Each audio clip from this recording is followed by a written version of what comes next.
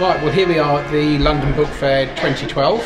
Uh, I bumped into John Fareham, who wrote the book for Bretwalda Books uh, about Guy Gibson. I thought this was a good opportunity to ask him some questions. Uh, so, John, tell me, uh, why did you write this book about Guy Gibson? Well, when I was a small boy, I actually came across a copy of um, his book, Enemy Coast Ahead, in my father's uh, bookcase.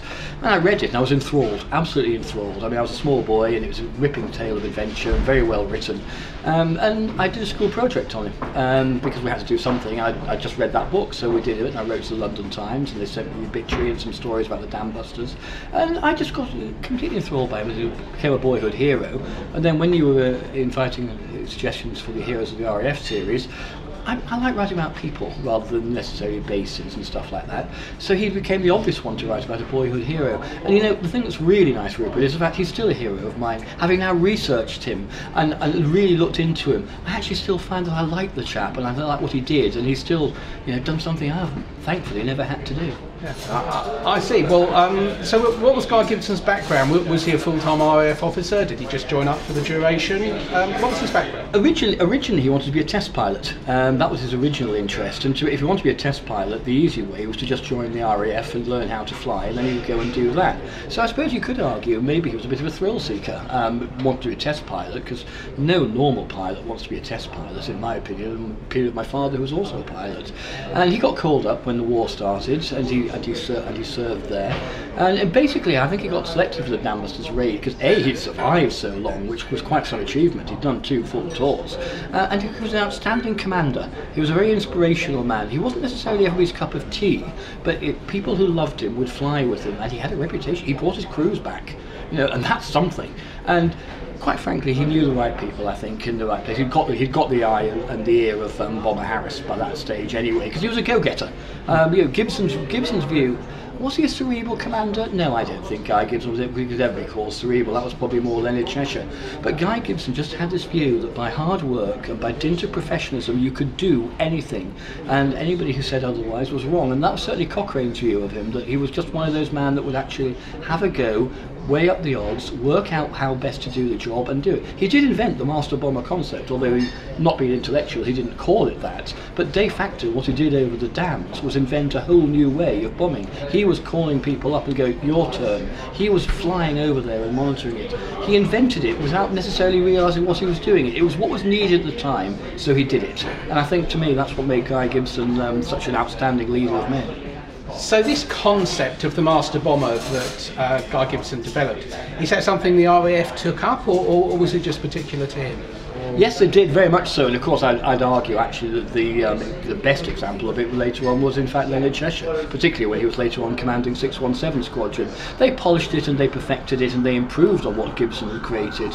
But the point is, anybody, and I should know it's what I do for a living, anybody can can improve and adapt and create, but it's a creation, it's the actual original idea. That's the hard part. So yes, they did, and to some extent, the RAF are still doing it now. Although of course, bombing techniques have very much changed in the modern Air Force, and we haven't got that many aeroplanes left anyway, and bombers are a completely different kettle of fish to what they were then. But the technique is still broadly the same. There is still somebody with the overview, keeping an eye on it, watching the skies behind, sending people in in the right order order. So yes, I think the RAF did have stuck with it. Okay, well, uh, after the Dam Busters raid, um, you write in your book that Gibson was taken off operational duties. Uh, what, what was he doing when he wasn't flying? Well, quite, quite rightly, we, we had that unusual position that Guy Gibson, who'd become very famous, unusually they promoted that he'd led the Dam Busters raid, and quite clearly, Goebbels, who was no fool, if they, if they got Guy Gibson, this would have been an absolute PR disaster for the RAF. So they had to take the guy off, probably the leading bomber of, pilot of, of, of, the generation by then. They had to take him away from doing what he did best because it would have been too much of a publicity coup for the Germans. So they sent him into, that's where he started writing Enemy Coast Ahead, they sent him in to write textbooks and manuals, and after a while, you know, it, it just wasn't Guy Gibson's scene. So they then sent him out to the bases. He managed to wangle his way to go out and to, they were starting to put bases together in groups. So he started becoming a group admin officer. In, they sent him to the staff college, um, and it, really he was clearly being groomed to go up and uh, eventually be a scrambled egg, but it wasn't it wasn't for Gibson. He wanted to fly, and in the end, he managed to wangle his way out into missions. He did a few. He did a few bombing missions. He was still had the knack because he was still dropping on targets. And then in the end, they sent him out to be. Uh, to, to play with mosquitoes, and of course, in the end, his luck ran out.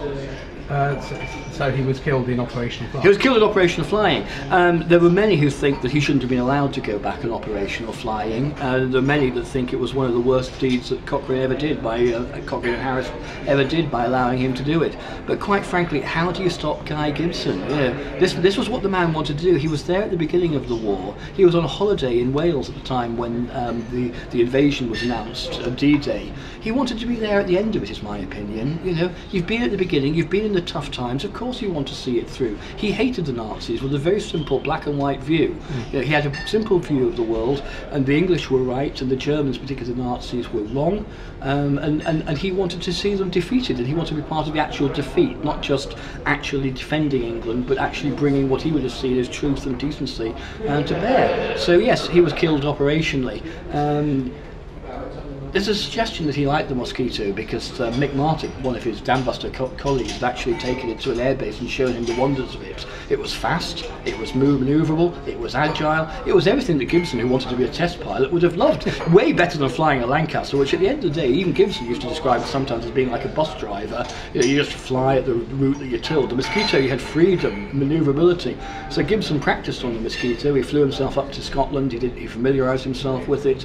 He saw what the potential was, particularly guided by Mick Martin. Off he went, and he became, and, and, and he started being a master bomber in the Mosquito. But the Mosquitoes particularly the Canadian built ones, were not always the most reliable of um, aeroplanes, and it's my opinion, and there were many conflicting views on this, but it's my opinion his luck ran out, the, en- the engine malfunctioned, he was flying low, there's not much room for manoeuvre when an engine when an engine goes at low, at low flight. So okay, um, one, one final short question. Sorry. Um, why should someone buy the book?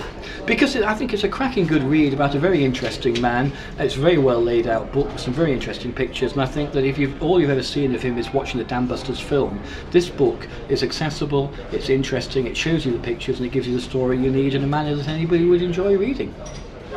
Okay, well, thanks very much, John. Very kind of you to take the time to talk to us. Uh, that was John Fareham, the author of the book about Guy Gibson, published by Bretwalda Books. Uh, it's available uh, in all good bookshops, as they say, uh, and on Amazon, and as an ebook. Thank you very much.